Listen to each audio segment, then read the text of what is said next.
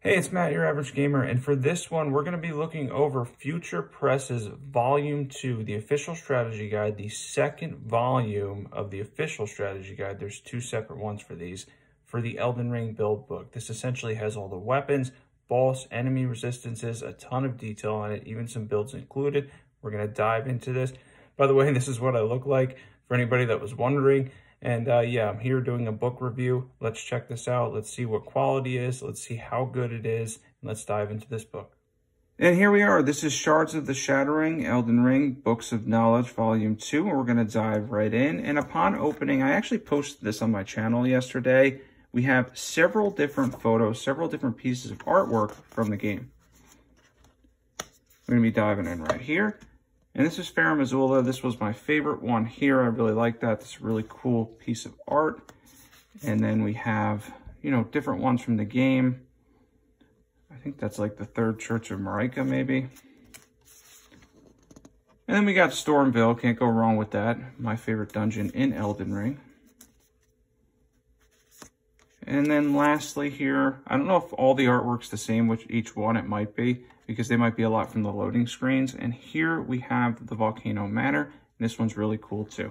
All right, let's dive into the next step. And immediately on the next page, we have the affinities here. We have the status ailments and item types. And then, of course, we're going to get a table of context. There's um, contents. There's an index probably at the end of this book as well, like there will be in the first one, so that's convenient. And the first one up here is the combat guide.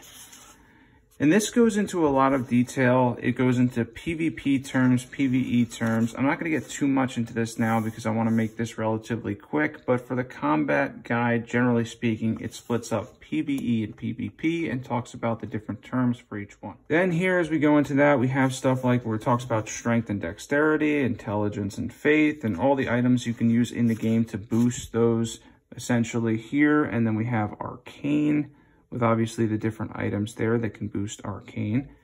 Then over here, it looks like we have, they're talking about Vitality, Focusing increasing items, Immunity increasing items. This is all really good information to have, to be honest. This is definitely, right from right from the get-go here, we definitely have something that's fairly good quality. I have no complaints so far diving into this book. And I changed the angle on my phone here for you guys, but this is one of my favorite pages so far in the book, and it basically goes over all the different buffs in the game, what types they are, and what they do. This is something that's really convenient to have and definitely useful for Elden Ring. Someone asked about this, but yes, we have a bestiary, and this is awesome having this. This is going to go over all of the creatures in the game, every creature in Elden Ring, and what it's going to do is it's going to talk about all their different resistances and everything as we get into the book here. As you can see, Godrick foot soldiers. And then look at the detail. So much detail on what they could do, essentially what they can drop and everything. And the resistances are at the top for each enemy in the game. This is actually quite impressive. It takes up a lot of the book. And here you can see we're onto the Stray Hounds. As we go through this, we're going to end up getting a ton about all of the regular enemies in the game. And it truly is incredible to see this much information on single individual enemies. And there is boss information and stuff throughout here too, and it gives you a strategy for each enemy type and everything as well. There's strategies for each one, there's ways to make your life a little bit easier, and there's also the things that they're weak to as well, which is a big convenience if you're doing something like this. We have the ancient dragons here, this is a really cool part of this book. I, I, like this. I like the idea of being able to see all the enemy types, tree sentinel there. We have so much information to go through just in the bestiary. This is pretty impressive in terms of what it offers. And yeah, continuing on, this is a large section of the book. Keep in mind, the bestiary is probably like a third of the book in total. It's a fairly decent amount, but we have tough bosses in the game and such, and it, it goes over all the different strategies and ways to take these guys on. That's, that's really convenient, in my opinion, to have a book like that that has all this information in it. And this is the type of information with resistances for regular enemies and even bosses that is unlikely to change anytime soon. Then here we have Radahn, some of our favorite bosses. I think, and I always say his name wrong, but there's an interview at the end of this book with Miyazaki, and he does mention how Radahn is his favorite boss in the game. He really likes the arena and the whole build up to Radahn, and I can't argue with that. He is a fantastic boss in Elden Ring. Much like Radahn, as you can see here with the Lich Dragon, as we can look at this page basically and see how much information it gives you, preparation, environment, strategy, and then it goes through all different types of information on the bosses. I really like this.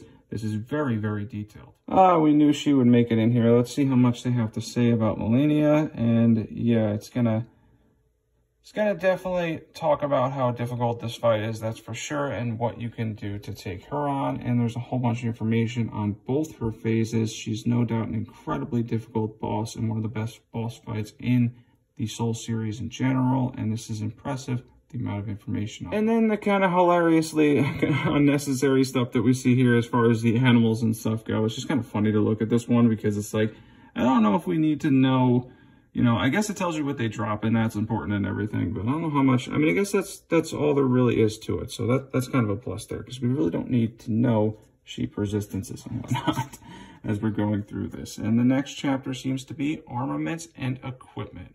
Starts right away with weapons and shields, and this goes into a lot of detail here. There seems to be something that's mapped out here, attack data, and then we're talking about requirements and then weight. Once again, fairly detailed. This is something, again, that I really like. I really like how much detail this has, how much information we're getting for the value of the book right now. It's not a bad price at all. It's definitely, this is definitely worth a buy, no question about that. And as we're going into here, sorry about my finger there, um, we are looking at different weapons in the game. It's going to go over the different weapons, essentially where you get them, and kind of how to build around them. It also has all the scaling for the affinities on every weapon in the game, and that's impressive in itself. And as we continue here and move on, we're talking even more about more weapons in the game, and it's got everything. It really goes over them in great detail, the somber weapons, the regular weapons. It's pretty much got everything you need to know. The important fact here, though, is having this, all the affinity scaling. That's, that's really convenient to have that in one place. And here we have all the armor sets in detail. It goes over the different armor sets, basically everything that they do for you, the resistances, and all the different types of stuff that they boost as well. This is really convenient to have too. And again, a lot of information. A whole section on talismans is definitely something that I like. That is really convenient for me. I really like having that, that sense of knowing what I can use and seeing what I can boost and combine with stuff. I mean, I already have a good idea on a lot of stuff, of course, at this point, but having further information is definitely something that's not going to hurt. These are all here in a convenient place where it goes over where to get them and what they do.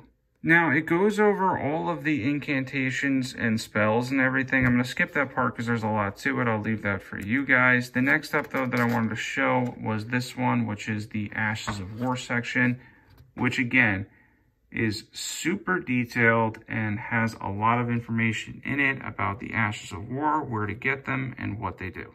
There's also a section here on spirit ashes that goes over all of the spirit ashes in the game, basically everything about them and what they do as well. This is convenient too, another thing that I really like about this book so far. Now, I'm not going to spoil, I'm not going to spoil and get into any of this, but there's an advanced build section that you should definitely check out that has particular and specific builds for the games. There's several of them. It's not too packed compared to the rest of the book, but there's a lot here as well. And that's my final review for the book. I really like it. This for me is basically a 10 out of 10. It's as good as a strategy guide's going to get. It's hardcover. It's pretty heavy. It's good quality as well. Speaking of which, I'm not being paid in any way to promote this book but I do like it. I definitely think it's worth a buy, no question. And if you are going to buy it anyway, I have the affiliate links below if you want to support the channel out too. In the meantime, be sure to sub if this video helped you and looking forward to the next builds that we come up with here.